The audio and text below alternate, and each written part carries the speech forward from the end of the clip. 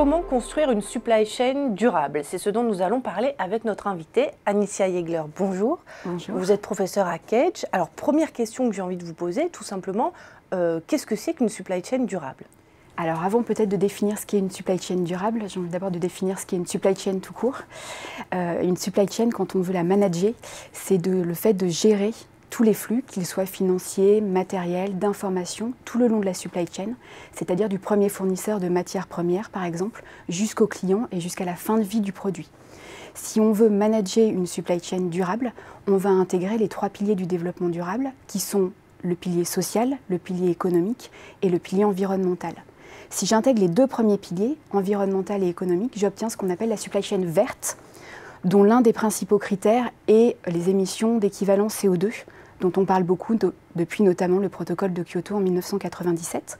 Et si j'intègre enfin le troisième pilier, qui est le pilier social, on obtient un management de supply chain durable, c'est-à-dire qu'on intègre toutes les parties prenantes, notamment les hommes, avec un grand H, euh, qu'ils soient salariés, consommateurs, actionnaires, et on obtient ainsi une supply chain durable.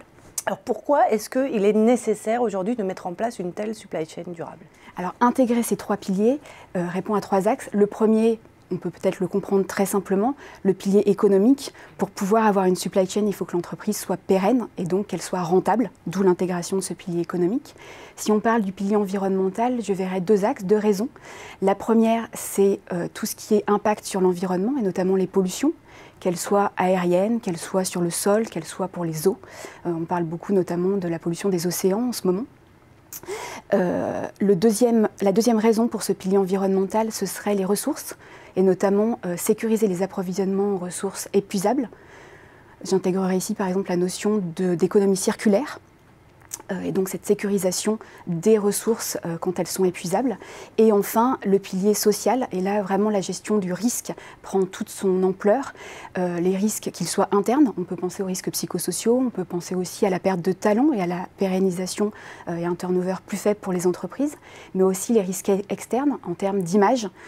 par exemple, le travail des enfants, si on a un fournisseur qui fait travailler des enfants, a un impact très fort sur l'entreprise. Donc toute ces gestions des risques est importante. Et le pourquoi euh, avoir une supply chain durable. Alors, ce que vous dites est effectivement euh, très convaincant, mais alors concrètement, comment mettre en place du coup une supply chain durable? Alors, on peut séparer peut-être la supply chain en trois parties la supply chain amont, la supply chain interne et la supply chain aval.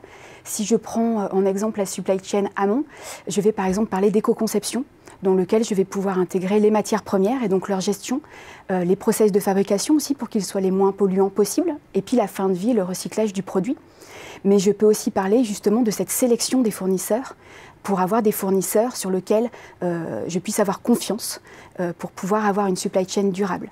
Si je prends maintenant la supply chain interne, euh, je vais avoir que je sois en service ou en produit euh, tangible, un, produit industriel.